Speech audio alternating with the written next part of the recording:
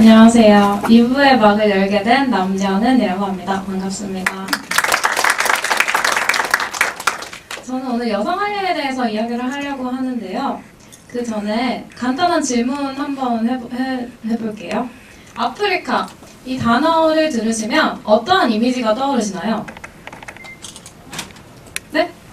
가난 또 뭐가 있죠? 아 우리 이 정도는 대답할 수 있잖아요. 우리 아무리 소극적인 한국인이라지만 더 없으신가요? 어 좋아 이런 것도 있고 저는 제가 생각하는 아프리카에 대한 이미지를 한번 모아봤습니다.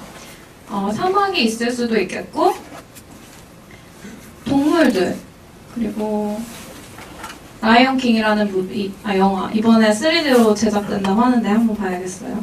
그리고 커피 제가 이거 에티오피아에서 직접 찍은 커피인데 정말 맛있고 정말 싸요. 그리고 예쁜 아이들이 있을 수도 있겠죠. 저도 예쁜 아이들에 포함되고 싶어서 제가 얼굴이 나온 사진을 골랐습니다. 그리고 좀 슬프지만 전쟁이라는 이미지도 떠오를 수 있겠고요. 에이즈라는 질병도 떠오를 수 있겠습니다. 하지만 저에게 아프리카라는 단어를 딱 떠올렸을 때 가장 인상 깊게 남은 이미지는 바로 이 바나나 나무였습니다. 보통 바나나 나무 하시면 필리핀이나 이런 동남아 쪽을 많이 생각하시잖아요. 근데 아프리카라는 대륙이 큰 만큼 기후도 되게 다양하고요. 그래서 다양한 식물들이 존재를 하고 어떤 지역에서는 이 바나나를 주식으로 먹기도 합니다. 근데 제가 이 바나나와 나무와 참 많은 사연이 있는데요. 그 중 하나는 이 나무 앞에서 인터뷰를 했던 아이가 참 기억이 났기 때문이에요. 바로 이렇게 예쁜 아이인데 개인적으로 이 인터뷰가 상당히 저는 성공적이라고 생각을 했는데 숙소에 돌아가 보니까 녹음한 걸 다 날린 거예요. 그래서 어, 며칠 뒤에 하루 종일 운전을 해서 다시 인터뷰를 하러 가기도 했었고요. 근데 이 아이가 어떤 아이냐면 학교를 다니는데 학교가 30분이 걸린대요. 근데 우리랑 개념이 좀 달라요. 우리는 걸어서 30분, 버스 타고 30분, 근데 이 친구는 뛰어서 30분이에요. 근데 우리 케냐, 에티오피아 이쪽 친구들 달리기 엄청 빠른 거 아시죠? 저희가 따라갈 수 없는 그런 30분이에요. 근데 이렇게 30분 동안 아침에 30분 뛰어서 가고 점심시간 1시간 내에 다시 밥을 먹고 가기 위해서 30분 뛰어서 집에 와요. 그리고 바나나 죽을 후루룩 마시고 다시 30분 뛰어서 학교로 돌아갑니다. 저는 그래서 물어봤죠. 아, 너 진짜 공부 열심히 한다. 너 나중에 커서 뭐 되고 싶니? 어, 얘는 말했어요. 아, 나는 열심히 공부해서 고등학교, 대학교 잘 가서 의사가 되고 싶다고. 와, 진짜. 이런 아이가 있으면 참, 정말 창창하겠구나. 부모님 정말 좋아하시겠구나라는 생각을 했죠. 근데 부모님 표정이 그렇게 좋지 않으신 거예요. 어, 그래서 가서 왜 그렇게 어, 딸이 자랑스럽지 않으신가요? 라고 여쭤봤을 때 아, 사실 너무 자랑스러운데 우리의 가족의 생계는 이 바나나 나무 두 그루다. 이렇게 얘기를 하셨어요. 우리가 부모님 입장에서 특별히 직업이 있는 것도 아니고 우리 집 앞마당에 있는 이 바나나 나무 이 두 그루로 아침, 점심, 저녁을 해결해야 하는데 지금 당장은 학교를 다닌다고 쳐도 나중에 고등학교 올라가면 유니폼 값이랑 교복 값이랑 책값도 없는데 어떻게 대학을 갈 수 있겠는가 이런 걱정을 하시더라고요.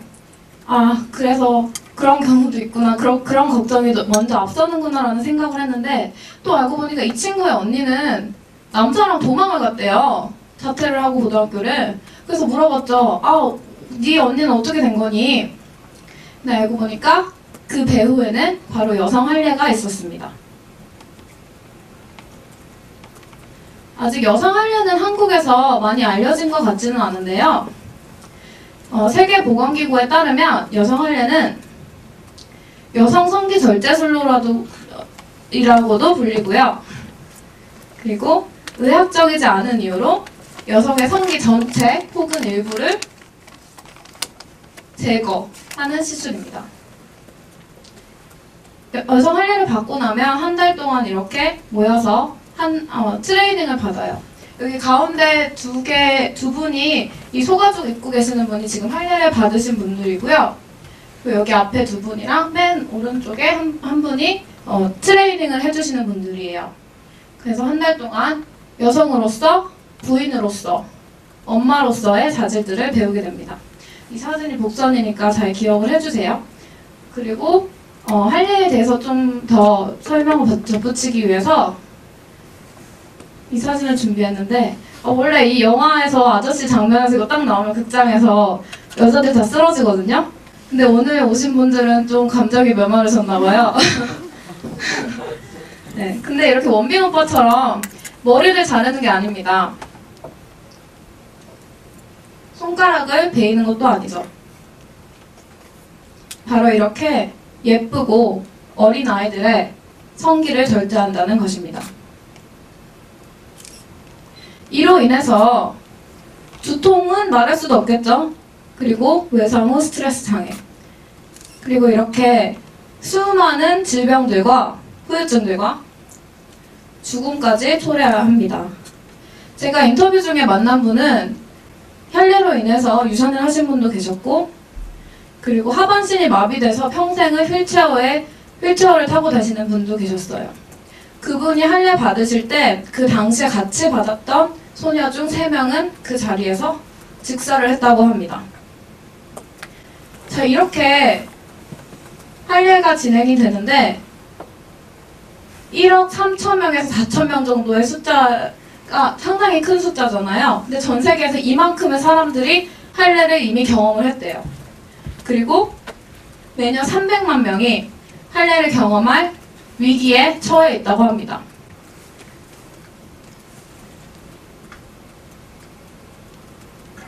자, 그러면 우리 인간은 생각하는 동물이니까 질문을 하게 되죠. 왜? Why? 왜 우리는 할례를, 이 사람들은 할례를 하는 것일까? 어, 누가 한번 생각을 말씀해 주시겠어요? 여기 앞에 계신 여자분? 어, 네. 왜 이들이 할례를 하는 걸까요? 아, 그럼 패스. 또 딴 사람, 딴 분 안 계세요? 아, 네. 취업? 아, 취업의 스펙으로서? 아, 되게 창의적인 답변이었어요. 아, 저도 이런 질문을 너무 궁금한 거예요. 그래서 이러한 질문을 가지고 왜 할례를 하는 걸까라는 물음을 가지고 오늘 와 계신 김효정 PD님과 함께 할례에 관한 다큐멘터리 제작에 참여를 하게 되었습니다. 그래서 이 질문에 대한 답을 얻기 위해서 이렇게 아름다운 마을로 찾아갔어요. 그래서 이 사람들한테 물었습니다. 너네 왜 할례했니? 대- 돌아오는 대 답, 대답은 이거였어요. 아니 그런 황당한 질문이 어디 있습니까? 아니 우리 할머니하고 엄마하고 언니하고 우리 가족들 여자들 다 했어요. 아니 분명히 당신들도 당신네들의 문화가 있, 있지 않을까요? 라고 대답을 해주셨어요. 그리고 또 덧붙인 게 아, 우리 여성 할례 안 하면 왕따 당해요. 어른들이 할례 안한 애들이랑은 놀지 말라고 하거든요. 아, 그럼 전 또 질문이 생깁니다. 아니, 이 마을의 어른들인데 왜 애들을 다 사이좋게 놀라고 하지 않고 어, 이렇게 떨어뜨려 놓느냐? 그래서 아까 그 사진 기억하시죠? 이 두 분은 이 두 분과 저기 마지막에 한 분 그렇게 교육하시는 분들한테 가서 제가 여쭤봤어요. 아니 도대체 왜 그렇게 하시는 겁니까? 왜 애들을 같이 놀라고 안 하세요? 그러니까 아 우리는 너랑 너네랑 너랑 얘기 안 할래. 딴 사람한테 가서 물어봐. 이렇게 차가운 대답을 주셨어요. 그래서 이렇게 유쾌하신 분을 겨우겨우 찾아서 이분은 실제로 할례를 하시는 분이거든요. 어, 가서 여쭤봤습니다. 이분은 할례를 처음 시작하게 된 이유는 본인의 딸을 할례를 하는데 그 할례에 들어가는 비용을 줄이기 위해서 본인의 딸을 직접 할례를 하면서 할례 시술자로서의 그 직업을 갖게 됐다고 하셨어요. 그래서 저는 물었죠. 아니 왜 이렇게 예쁜 아이들인데 할례 안 한 애들이랑 할례 한 애들이랑 같이 놀, 놀지 못하게 하느냐? 근데 이 어른 이 어른이 말씀하셨어요. 아 내가 사실은 옥수수 밭을 옥수수 농사를 지어. 근데 옥수수 그렇게 1년 동안 지어서 남는 게 별거 없어. 그래서 저희 진짜 옥수수 이렇게 몇 개 주셨거든요. 근데 옥수수가 다 파져 있어요. 까맣고 먹을 수 있는 게 별로 없더라고요. 그 할머니가 농사를 잘 못 지으셔서 그런 건지 몰라도 근데 그 할머니께서 그렇게 남는 것도 없는데 할례를 함으로써 한 달만 고생하면 수입이 짭짤하단 말이야. 근데 그거 안 하면 우리 뭐 먹고 살겠어. 이런 대답이 옵니다. 아, 그래도 이렇게 예쁜, 예쁘고 어린 아이들인데 수입 가지고 그런 대답을 하면 되겠어요? 하고 제가 여쭤봤죠. 그러니까, 아, 나는 모르니까 너가 알아서 잘 대답을 해서 찾아서 가라. 이런 대답이 왔죠. 이분들은 할례를 하고 그 한 달 동안은 매일매일 축제예요. 그래서 아침에부터 그 우리나라의 막걸리죠. 그쪽에서 만든 곡물로 만든 주를 아침부터 드시는 거예요. 그래서 이렇게 해가 중천에 뜰 때쯤 되면 거하게 취하셔서 어, 춤도 추시고 저희가 이분들 만나러 뵈러 갔을 때는 입에다 막걸리 이렇게 간- 잔뜩 무시고 저한테 푸 하고 얼굴에다가 뱉으시더라고요. 어, 친근함의 표시로. 네. 그래서 그래서 저는 또 아, 궁금해진 거예요. 그렇다면 이 어른들은 돈을 벌기 위해서 할례를 한다고 쳐보자. 그러면 과연 부모님들은 왜 사랑하는 딸들을 할례를 하라고 할까? 라고 하는 질문을 가지고 또 찾아갔습니다. 그래서 부모님들한테 물어봤어요. 그런데 돌아온 것은 바로 이렇게 차가운 시선뿐이었습니다. 너는 이방인이지만 외국인이라서 할례를 하지 마라. 할례는 좋다, 나쁘다. 이런 말을 쉽게 할 수 있다. 하지만 할례는 우리에게 생계나 다름없다. 이런 말씀을 하셨어요. 아까 제가 바나나 나무 설명, 설명드리면서 말씀드린 그 도망간 언니 있잖아요. 걔랑 같은 케이스인 거예요. 아니, 지금 중학교까지 나온다고 쳐도 고등학교, 대학교는 어차피 못 가요. 어차피 돈이 없어서 못 가는데 그러면 중학교까지 나올 필요도 없는 거예요, 말하자면. 왜냐면 중학, 고등, 중학교를 졸업하든 졸업 못하든 직업은 구할 수 없는 상황은 마찬가지고 돈은 없고. 그래서 결혼을 빨리 하기 위해서는 할례라는 좋은 스펙이 필요한데 그렇지 않으면 결혼 안 하고 오래오래 집에서 부모님이랑 살고 싶지만 그럼 돈을 벌 수도 없고 먹을 생계도 없고 그리고 아프리카에서 여자 혼자 직업 없이 살아가기는 정말 쉽지 않은 일이거든요. 그래서 이렇게 평화롭던 마을에서 들판 위에서 수다를 떨던 이 두 소녀들은 학교를 가는 대신에 어, 빨래를 하고 할례를 받게 됩니다. 어떤 아이들은 할례를 하지 말자는 반대의 목소리를 내기도 해요. 그리고 어떤 아이들은 이렇게 직접 나서서 이야기를 하기도 하고요. 어떤 마을에서는 이렇게 주민들을 모아놓고 우리 할례하지 맙시다라는 세미나를 열기도 합니다. 하지만 우리가 뭐라고 하든 이 여성들에 대한 교육과 재정 자립에 대한 꾸준한 개선 그리고 지원이 없이는 할례의 악순환은 계속될 거라고 저는 생각합니다. 오늘 제가 이 자리에 서게 된 이유는 또 다른 한 가지가 더 있는데요. 제가 인터뷰를 하러 케냐에 갔을 때 정말 유명하신 교수님이랑 만날 기회가 있었어요. 그분은 하버드 나오시고 옥스포드에서 박사학위 따신 분이에요. 그, 그분은 할례만을 중점적으로 논문을 쓰시는 분이신데 그래서 그분한테 좀 전문적인 지식을 많이 얻었죠. 근데 나중에 제가 여쭤봤을 때 아, 이렇게 많은 케이스들 보면 좀 마음이 아프신 경우가 많겠다. 그건 어떻게 어, 생각하시냐? 라고 했을 때 그분은 정말 냉담하게 눈 하나 깜짝 안 하시고 이렇게 말씀하셨어요. 그들이 할례를 하고 아픈 건 내 알바가 아니다. 그들은 단지 내 논문의 연구 대상일 뿐이다. 저는 그 딱 들었을 때 아, 어떻게 대답해야 될지 몰랐어요.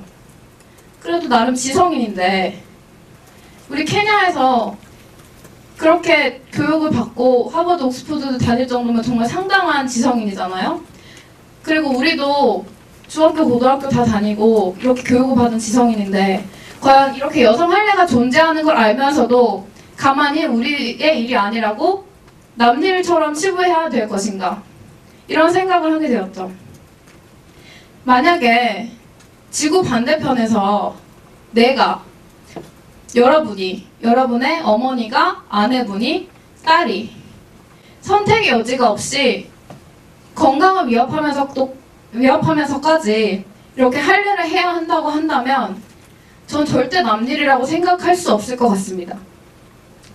그래서 저는 오늘 이 자리에 나오게 되었고요. 저는 할 일을 반대합니다. 여러분은 어떻게 생각하시나요? 감사합니다.